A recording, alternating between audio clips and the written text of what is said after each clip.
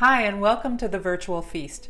My name is Giulia Bernardini. I'm an art historian and an instructor of humanities and the founder of Wonderfeast, a boutique travel company through which I take small groups of inquisitive art, culture, and food lovers to European cities for unforgettable on site, in depth seminars. Today we're going to discuss what's so Spanish about the Spanish Steps. How did Rome's famed Spanish Steps get their name? After all, they're in Italy, and there doesn't seem to be anything particularly Spanish about them. The name comes from the square where they're located, the Piazza di Spagna, or Spain Square. It gets its name from a building that always has a prominently displayed Spanish flag over its grand entrance. It's the Spanish embassy to the Holy See, or Vatican, and has been housed here since the mid 1600s. The irony is that the iconic stairway was actually paid for by a Frenchman. In 1660, a French diplomat to Rome from the court of Louis XIV left money in his will for a stairway to be built that would provide a worthy and elegant means to reach the French community's church of La Trinité des Monts, the Trinity of the Mountains. At the time, the church, built in the late 1500s, was at the top of a steep and unpaved section of the Pincian Hill, as we can see in this engraving here. The project for the staircase, however, languished for a while thanks to squabbles over it and other matters between the ruler of Rome at the time, Pope Alexander VII, and King Louis XIV. Louis thought a large equestrian statue of himself on the central landing of the staircase would look smashing. Alex didn't. But building finally began in 1723, 200 years after the stairway was first conceived.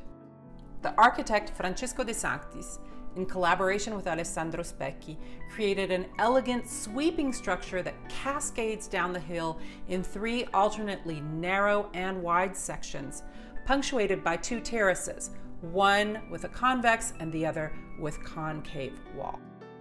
The overall effect is graceful and dynamic and much more than just a means of getting from one place to another. Surely that 17th century diplomat would have been pleased with the outcome. By the way, just to add to the geographical confusion of this area, in the 18th and 19th century, it was known to Romans as Il Ghetto degli Inglesi, the ghetto of the Englishmen.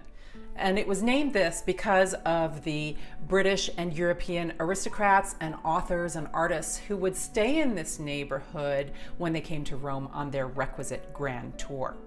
People like this English nobleman, elegantly posed with St. Peter's Basilica and Castel Sant'Angelo in the background or this gaggle of Danish authors and artists shown cozily mingling in a Roman eatery with the locals. Case in point, on the right hand side of the steps is the house where Romantic era poet John Keats lived. It's now a wonderful museum. On the left hand side, we see Babington's Tea Room, founded in the late 1800s by two British ladies to cater to any fellow subjects presumably not fond of espresso. So, Spanish, French, English, whatever you choose to refer to it as, still today this neighborhood is replete with chic hotels, restaurants, and boutiques popular among foreign visitors and locals alike. And the steps remain its main draw. I hope you've enjoyed this little taste of Rome. If you have, why not join me in May 2021 for patrons, artists, and private palazzi, a one week on site seminar in Rome. To find out more, click on the link. Take care.